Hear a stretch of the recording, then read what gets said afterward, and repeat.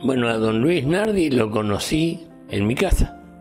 Me había propuesto hacer una nota para el diario ABC, que es todo para campo, y vinieron a casa con el jefe de redacción de él, y estuvimos tomando mate largamente y hablando. Y ahí nos dimos cuenta que teníamos muchas cosas en común, que creíamos en las mismas cosas, nos dolían las mismas cosas y nos alegraban las mismas cosas.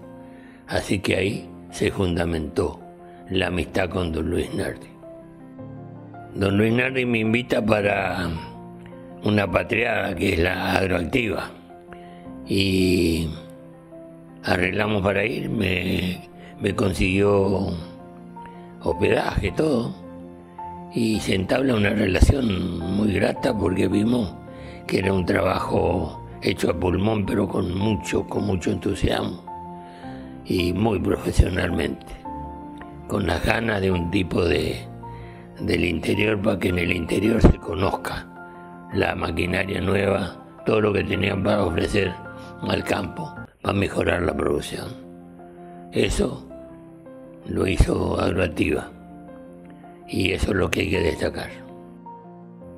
En el 2010, el primer premio del valor criollo me lo otorgaron a mí, cosa que yo le agradezco a don, Luis Nardi y por supuesto a sus hijos que son el pulmón de, de esto y que ahora siguen con la, con la misión que arrancó don Luis, que es el destacable, el que impulsó todo, como el ABC, como la agroactiva. Son cosas que quiero agradecer. Y quiero recordarles algo. ¿Qué es una agroactiva?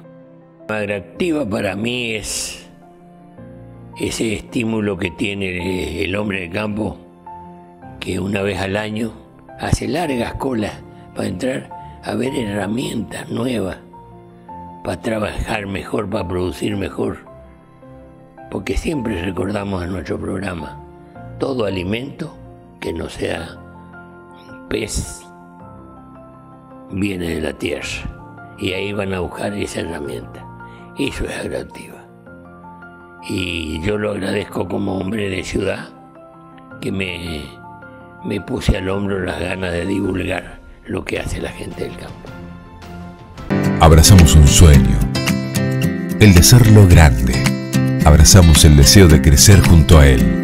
Agroactiva, la muestra que vos armás, la muestra que vos amás.